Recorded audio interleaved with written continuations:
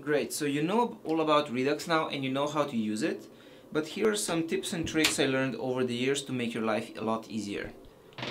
1. Never use Redux sagas. It never works out in the long run. Devious thing that sounds like a good idea where it's called reactive programming, but I have never in my life seen reactive programming work out in the long run. It didn't work with Backbone, it doesn't work with sagas, everyone who has a Sagas codebase comes to me crying a year later and saying, I don't understand how any of this works and I have no idea what's triggering anything in my codebase. Two, do use a lot of selectors. Selectors are helper functions that make it easier to access data in your store.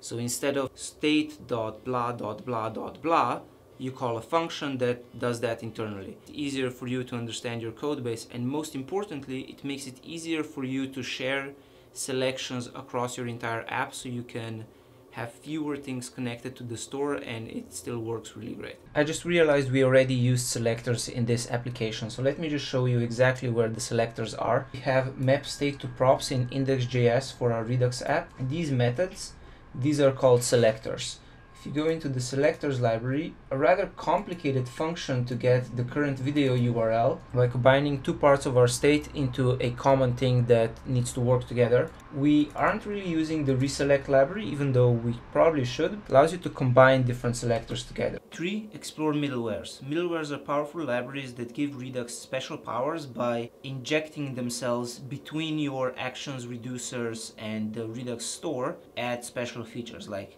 integration with DevTools, uh, logging, Thunks are a middleware, Sagas also are a middleware. I don't know all the middlewares that exist, but explore them, learn them. They're gonna give you special powers and make your life a lot easier. You can also make your own. And four, most importantly, don't get carried away with Redux. You don't have to put everything in your Redux store. You don't have to make sure everything has a separate action, a separate reducer, and a separate selector or whatever else it's okay to write some code that is quote-unquote messy if it's easier to understand than the indirection of going through the entire Redux machinery.